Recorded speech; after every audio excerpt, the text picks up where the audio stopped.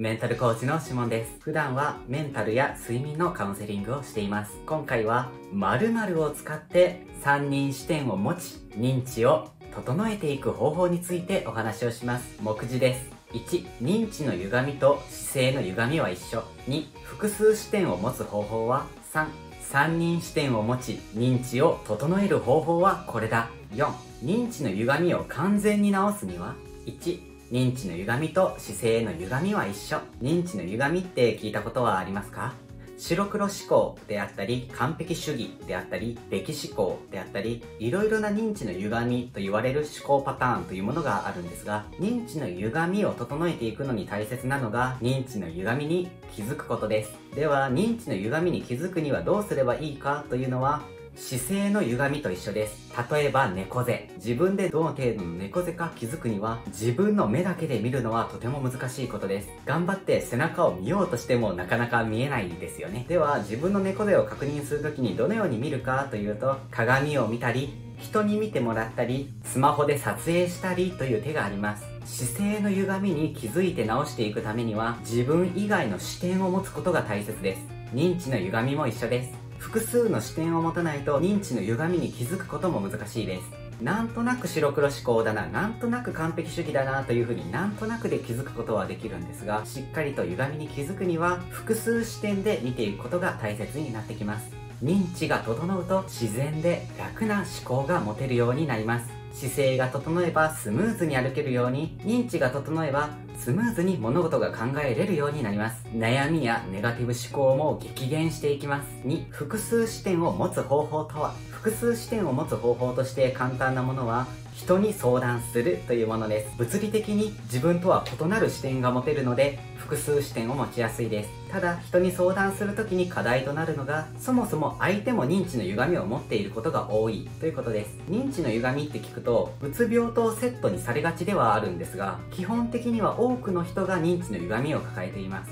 そもそも自分の認知の歪みに気づくという習慣を持っていないと、99%以上の人は認知が歪んでいきます。あと、人に相談しても自分の話を聞いてもらえずに自分の話ばかりをする人もいるので、相談相手を選ばないと逆に認知の歪みが悪化することもあります。次の方法としては、紙に書き出すという方法です。自分の考え方、捉え方というのを紙に書き出す、思考を外に出すことによって客観的に見ることができます。3つ目は別人になりきるという方法です。今自分が抱えている悩みを友人だったらどう答えるかな？恋人だったらどう答えるかな？家族だったらどう答えるかな？見知らぬ他人だったらどう答えるかな？という風に別人をイメージして自分の悩みを見ると複数視点を持って視野を広げて自分の認知の歪みに気づくことができます。3、3人視点を持ち認知を整える方法はこれだ。今回は自分の中に3つの視点を簡単に作る方法です。思考には一般的に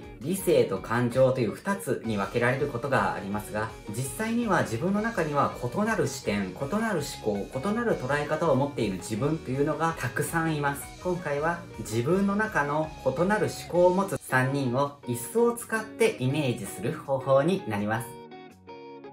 まず3つの空の椅子を用意します。なぜ3つの空の椅子を用意するかというと、これからお話しするのは3つの視点を持つというお話になるんですね。3つの視点を持つ時に頭の中だけで考えたり紙の中で書き出すだけでっていうのも結構難しいんですよね。だから椅子を3つ用意することによって人間がいるイメージをすることによって3つの視点を考えることができるという方法です。あくまで3つの視点が得られればいいので3つの椅子でもいいし3つの座布団でもいいですし僕がよくやるのは3つのコップを並べるとかコップを使う方法ですね。ではどのような3人をイメージするのかというと批判される自分、自分の内なる批判者、思いやりを持つ観察者、この3人です。方法としてはまず自分を責めていることや自分が悩んでいることネガティブな思考などを頭の中で思い浮かべるというところから始めます悩んでいることを考えると自分の中に自分を批判する自分が現れますそして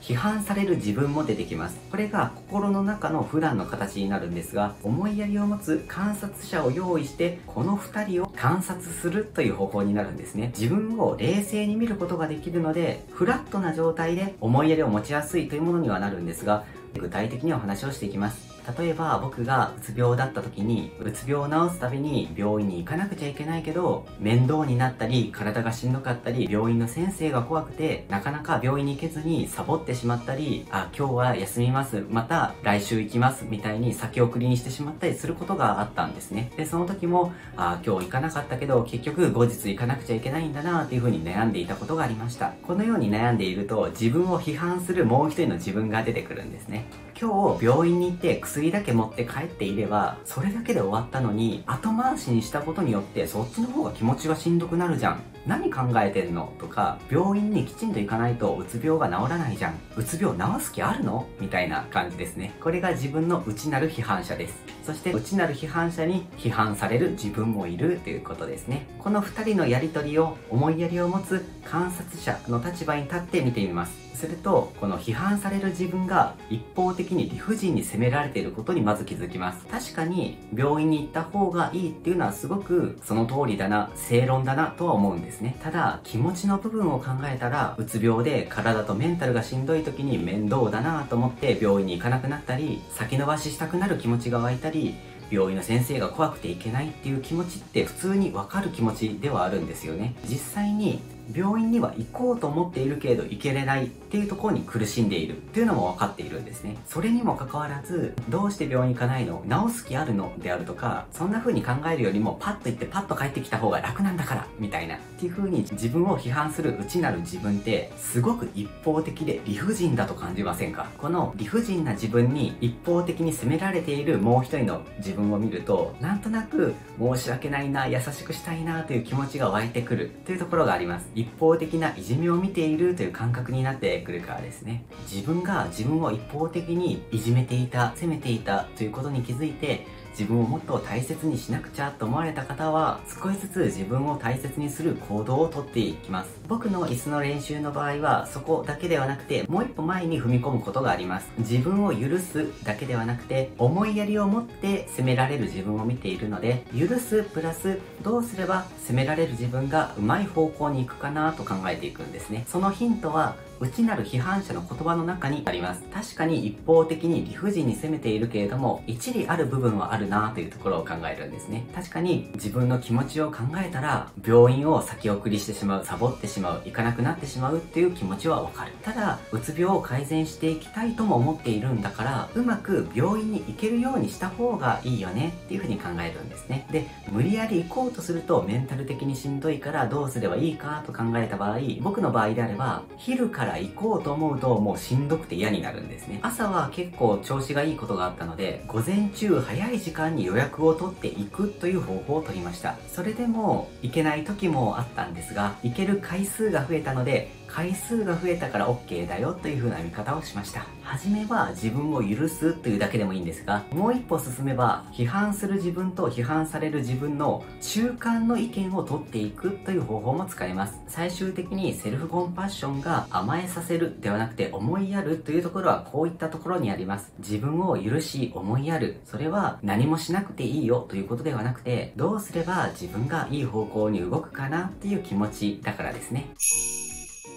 4、認知の歪みを完全に直すには、完全に直すにはと言っといて急に相反することを言うんですが、まず、認知の歪みを完全に直そうと思わないことが大切です。完全にと考えてしまうことが、すでに完璧主義、白黒思考、べき思考などが入っている思考パターンになりがちです。姿勢と同じように認知もある程度歪んでしまうというのが自然なものです認知の歪みって聞くと悪いイメージもあるかもしれませんがなぜ認知が歪むのかというと社会と適応しようとして認知が歪んでいるからです。例えばメガネの場合くっきり見えすぎてしまうと目が疲れてしまうものです。認知も同じです。くっきり見えすぎてしまうとしんどくなることがあるので大切なのは認知の歪みに気づくことと認知を歪みすぎないようにすること。というぐらいで大丈夫です。姿勢と同じく認知もある程度歪んでいくものだから定期的にメンテナンスしようぐらいで OK です。メガネや老眼鏡を持っている方も常にメガネや老眼鏡をかけているのではなくて